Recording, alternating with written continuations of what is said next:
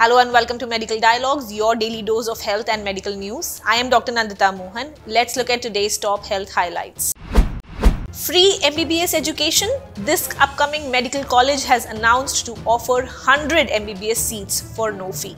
Bringing good news to the medical aspirants in Karnataka, the newly set up Sri Madhusudan Sai Institute of Medical Sciences and Research is all prepared to offer 100 MBBS seats free of cost from 2023 to 2024. As no fees will be collected from all 100 students, they will have to agree to serve for 5 years in the college hospital after their graduation. The medical college, which will be inaugurated by Prime Minister Narendra Modi on 25th of March, has already got the permission from the National Medical Commission on 10th of March 2023 to admit MBBS students in 100 seats from this academic year. Already as a prelude to the establishment of the medical college, a 350-bed Sri Satya Sai Sarala Memorial Hospital has been set up inside the campus a few years ago and the hospital has been providing free treatment to needy patients. The medical college is located at Satya Sai village near Muddenahalli which is around 70 kilometers away from Bengaluru.